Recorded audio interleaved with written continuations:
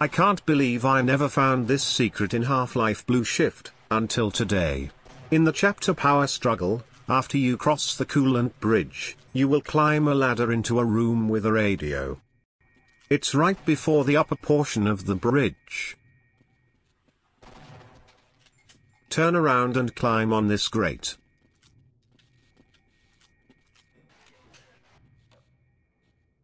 Break this grate and go into the air vent.